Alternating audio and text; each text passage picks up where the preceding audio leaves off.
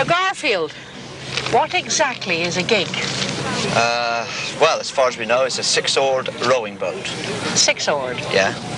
And there's no difference between a Scilly gig and any other. No, no. As far as we know, they're Yeah. all the same. Newquay, all these Scilly ones.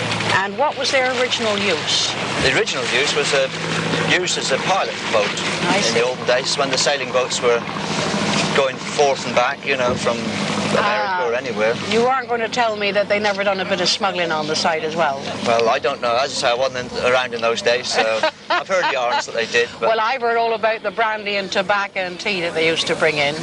Actually, so, over yeah. Newlyn, we just say that the Scilly Islanders will sell their granny. Is that right? no, Can't you get believe nothing the Newlyn people, you believe anybody. we know what they're like. What exactly was the piloting then?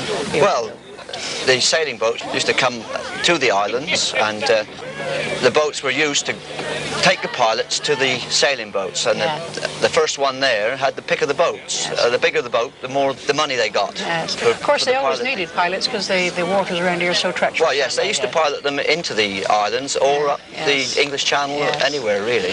And of course, they were also used as, as uh, salvage boats and for life saving. Oh, yes, weren't yes. They, they've done a lot of life saving. They were the forerunners of the lifeboat the as we know it yes, today. So when did this here gig racing begin then, uh, Garfield? In 1963, Oh, yes.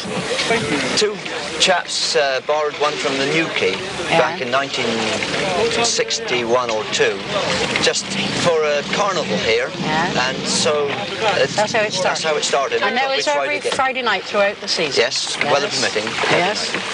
And when you have a crew, do you stay with the boat or do you, do you I mean, when you know, the like the shower, do you always row for the shower or do you change over? Well, normally the off-island people keep to the same boat every year. Who do you think's going to win tonight then? The first boat.